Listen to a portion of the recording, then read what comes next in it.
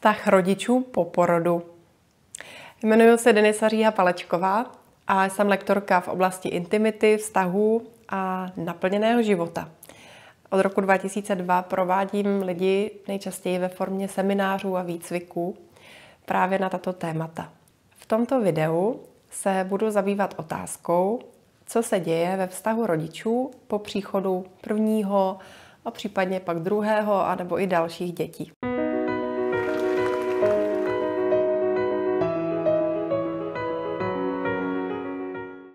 Mnoho párů zažívá pochopitelně velký zlom ve svém partnerském vztahu, když se z nich stanou rodiče. Jeden z velmi jasných faktorů je, že se změní rytmus jejich života, že už nejsou v bytě sami, ale mají tam dalšího člena nebo členy domácnosti, kteří jsou velmi nároční na pozornost. A někdy dochází k tomu, že se rodiče vlivem této zkušenosti takzvaně depolarizují. A to má poměrně silný dopad i na jejich intimní život. A já teď trošku víc vysvětlím, o co jde. Co to je ta depolarizace? K tomu je třeba rozumět, co to je polarita.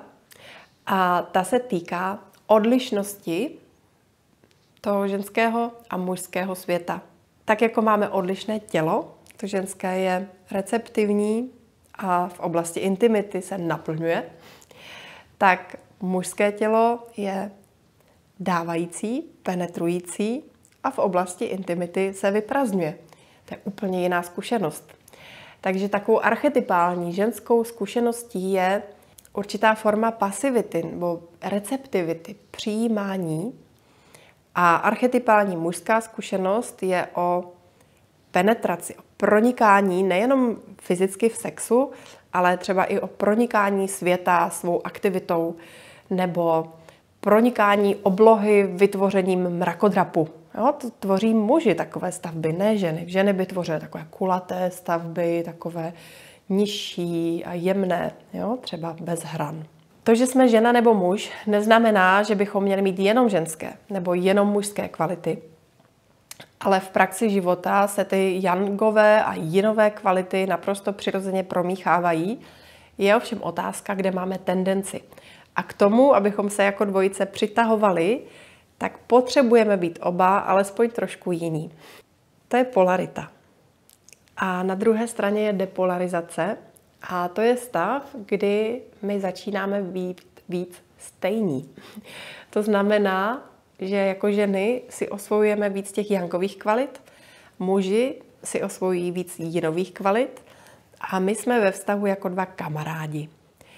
A to se někdy děje párům, co jsou ve vztahu déle a co začnou spolupracovat na výchově dítěte, kdy žena v mnoha situacích se potřebuje stát tím vedoucím, tím generálem, obzvlášť když má doma třeba dva, tři kluky malý a potřebuje je prostě srovnat, i když jí to není příjemné, ale ona se s nima jinak nedomluví. Jo? A ten muž zase se často učí být k dětem citlivější, jemnější. V současné době je běžné, že tátové se starají o děti a dokonce s nima chodí na pískoviště, což se dřív historicky moc nedělo. A jdou více do jinu.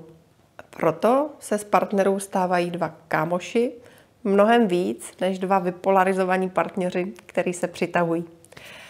A to je jenom jeden z faktorů, které ovlivňují intimní vztah po porodu. Může tam být mnoho, mnohem víc věcí, například bolest, kterou žena prožila při porodu, mohou tam být jizvy, například po císařském řezu, po nástřihu či natržení hráze, Můžou tam být i někdy traumatizující zkušenosti z období porodu a po porodu, což také ovlivňuje partnerskou intimitu. Nic z toho není důvodem pro to, aby byl vztah vážně a dlouhodobě narušen, když víte, co s tím máte dělat. Každou bolest lze léčit, každou necitlivost lze obnovit do citlivosti a každou depolarizaci lze narovnat do polarity a vášně, když víte, jak na to. A to je moje vášeň, ukazovat lidem, ženám a mužům, jak mohou žít ve vztahu dlouhodobě šťastně, jak se nerozvést po těch statisticky daných 3 až 5 letech, jsou české statistiky, téměř polovina párů, polovina manželství se rozvádí do 3 až 5 let po uzavření sňatku. Ale já doufám, že vy mezi nimi být nechcete a nemusíte, i když třeba máte období, které je velmi vztahově náročné, protože stačí se naučit určité momenty, které vás podpoří, kdy se dozvíte, jak pracovat se svými emocemi, jak jako muž přijímat emoce své ženy, jak je jako žena vyjadřovat, dovolit si je, jakým způsobem být víc v tom jinu a yangu, v té kvalitě, která je nám velmi přirozená, ve které se cítíme dobře a doma. Jak si užívat to, že jsme každý jiný a že si někdy i nerozumíme. A jak třeba vylečit i fyzické a emoční trauma, které nutně přináší i bolest do vztahu. Pokud vás to zajímá, můžete se začít dál vzdělávat skrze moje videa, skrze články, můžete se podívat na můj web denisapalečková.cz a určitě vás zvu i na živé semináře, které pořádám. Pořádám ženské skupiny, pořádám kurzy pro páry ve spolupráci s Richardem Vojíkem, také profesionální výcviky, celostní smyslné masáže, což je nádherná transformační zkušenost, po které váš život opravdu nezůstane stejný. A v neposlední řadě vás zvu do masážního studia, kde vás čeká tým odborníků, lidí, kteří prošli našimi výcviky a jejich vášeň je podporovat druhé skrze individuální práci s dotekem a individuální výuku.